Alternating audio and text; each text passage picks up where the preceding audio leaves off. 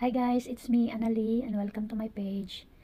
Ngayon po mga friend, ipapasyal ko po kayo dito sa napakalaking cemetery ng Sweden. Hindi lang po ito cemetery, pwede rin itong pasyalan dahil sa laki at ganda ng loob nito. So ito po yung entrance mga friends. Sa nakikita nyo po, entrance pa lang, ang linis-linis na. Ang cemetery pong ito ay napapaligiran ng mga fine trees. Ang daanan pong ito ay papunta po tayo sa cremation area. Dito po cremate ang mga patay. Ang ganda, di ba? Sobrang linis. Malapit na po tayo sa cremation area. Nakikita niyo po ba yung tatlong chimney? Diyan po lumalabas ang usok pag nag-cremate na sila. This cemetery was created between 1917 and 1920 ng dalawang batang arkitekto.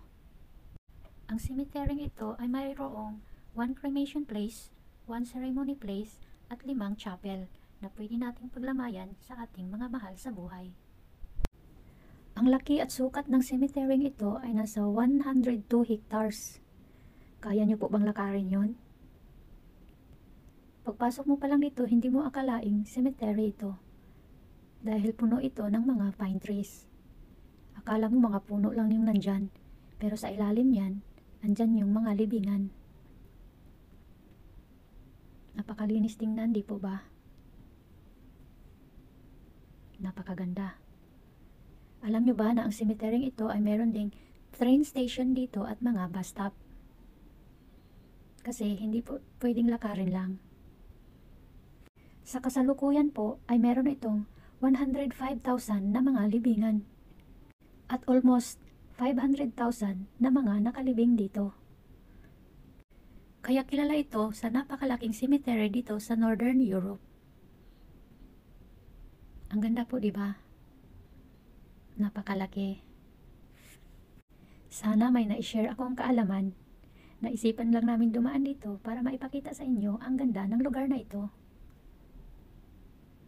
Hindi na po namin inikot ang buong cemetery kasi baka gabihin na po kami sa sobrang laki nito. Gusto lang naming maipakita sa inyo kung gaano kaganda ito. Napaka-fresh ng lugar na ito. Ang sarap ng simoy ng hangin. So ngayon po mga friends, papalabas na po kami. Actually marami pong daanan palabas dito. Thank you for watching mga friends. Sana nag-enjoy kayo sa aming tour. tour ng cemetery. Until next time po. 拜拜。